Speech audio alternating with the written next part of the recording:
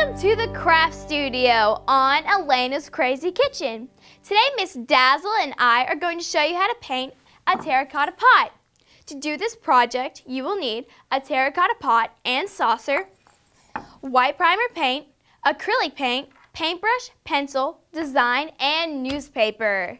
Remember, since we are using acrylic paint, you may want to wear some old clothes or an apron to protect your nice clothes. Don't forget to lay down newspaper on your working surface. What design did you choose to paint? I think I'm going to paint this one. What do you think? Oh, that design will look pretty. Thank you. So since I already have my design ready, I'm going to put on my apron and start to paint.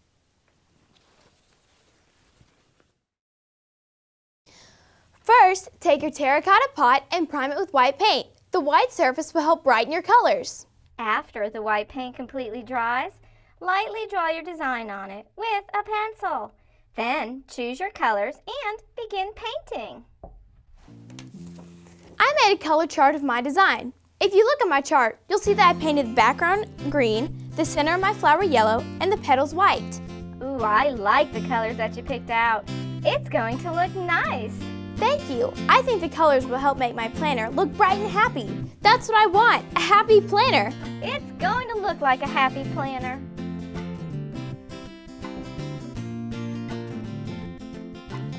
After it's painted, you can decorate it with beads, ribbons, or rhinestones. I'm going to decorate mine with yellow rhinestones.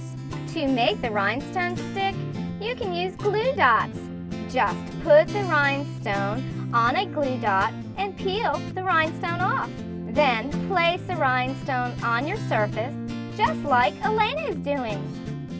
That looks so pretty. It looks like a happy pick-me-up planner. Oh, you're right, it does. Terracotta pots are fun to paint. I'd like to show you my collection. This one my grandma painted. She loved to paint flowers, sort of like me. She did a great job. She sure did. And these my Poppy Jack painted. He loved to paint abstract faces on his pots. He called them his jackpots. Hey, how's it going? Oh, those are very creative. And they all look wonderful. I think I love them all. You know, they would make great gifts and fundraiser projects. Uh, you're right, they would be great gifts.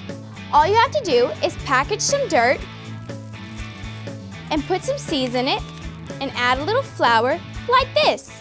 Ooh, that's a wonderful idea. I'll buy three, please.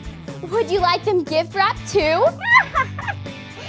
well, that's it for our show. I hope you have fun painting your terracotta pot. Remember to stay crafting. After all, you are the designer. And stay awesome because you are.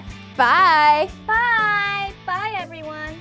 Oh, those look so pretty. I know, don't they? Oh, I like the way you did that one. I like the flower.